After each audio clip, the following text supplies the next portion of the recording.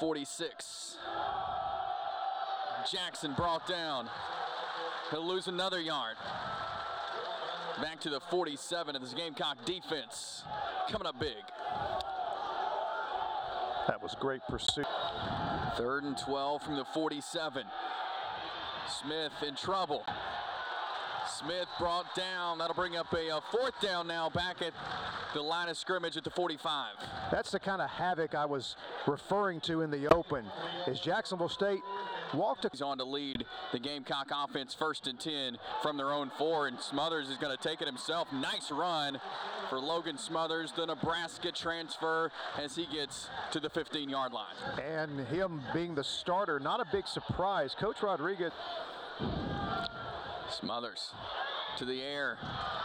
Caught by Quentin Lane. Big first down and a big catch for Lane of the Gamecocks. And you couldn't have had any better coverage. They had two guys on him, including Bennett. Now for the Eagles. Austin Smith back to pass. He's in trouble and he's sacked.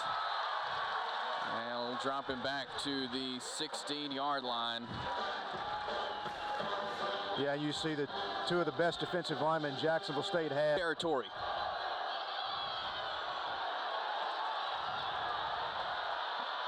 Trying to get somewhere in the Gamecocks. The defense comes up big. Turnover on downs. And that was Cameron McCoy in the game. And you knew this played the game. Wow. Smothers throws it, caught, touchdown. Quentin Lane with a touchdown grab for the Gamecocks. And the Gamecocks looking for some receiver help, some guys to step up and become big-time target for Jax State. Smothers goes to the air. Perry Carter makes the catch for the first down of the 41. Second and five. Smothers will take it himself. Big hole up the middle. Logan Smothers all the way. Touchdown, Gamecocks. The 41 yard touchdown from their own 27. Udingwu throws and is picked off. Picked off by the Gamecocks, Larry Worth. Is his second interception. And he's going to try to tuck it and run, but brought down by Larry Worth. Another big play by Worth had the interception a moment ago. Jax State from the Gamecock 31. There's pressure coming on Smith and he's sacked.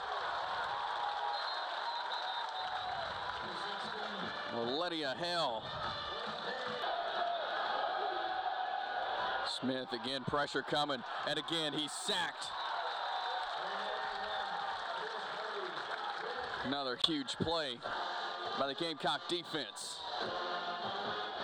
Fourth sack of the first half for Jacksonville State. Smith back to pass. Pressure coming. He's sacked. Another sack for the Gamecock defense.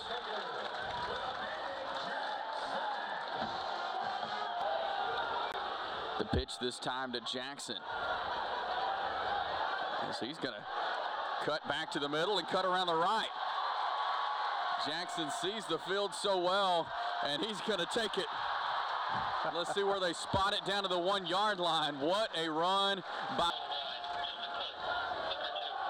Back to Jawan Evans as he takes it in. Touchdown Gamecocks.